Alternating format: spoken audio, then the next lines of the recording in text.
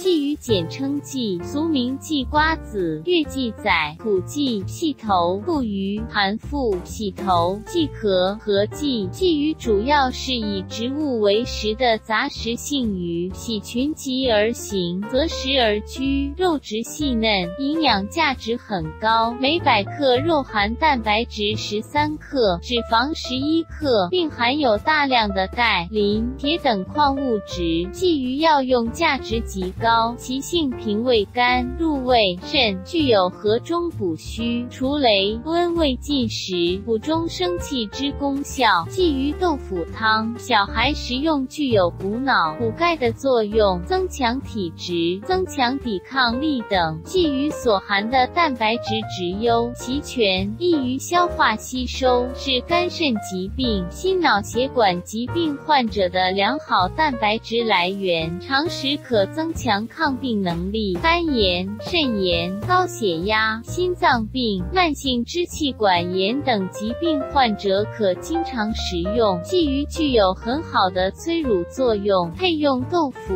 益气养血、健脾宽中。豆腐亦富有营养，含蛋白质较高，对于产后康复及乳汁分泌有很好的促进作用。主料：鲫鱼一条，豆腐两块。辅料：芹菜。一根葱两根，生姜、盐、料酒、鸡精。做法：一、先将鲫鱼清洗干净，在背上划上几刀，肚中放三片生姜，全身涂盐并腌制二十分钟。二、锅中放山茶油，待油热后放入生姜，然后再放入鲫鱼，两面煎一小会，放入适当的料酒。三、煎香后放入水，水不用太多。盖盖住鲫鱼即可，盖上锅盖煮出奶白汤。四放入豆腐再煮两分钟。五放入芹菜煮二十秒，再放入葱花。六最后试盐味，不够再加盐，然后加入适当的鸡精即可。技巧一，在鲫鱼背上划几刀，涂盐腌制二十分钟更入味。二用山茶油煮更营养，且可以除部分腥味。煎鱼。时时加入生姜、料酒也可以除腥味。三、豆腐等鲫鱼煮好后再放入煮两分钟即可。您若有好的建议、意见，欢迎分享与交流。喜欢的朋友记得关注、点赞、分享、收藏，谢谢。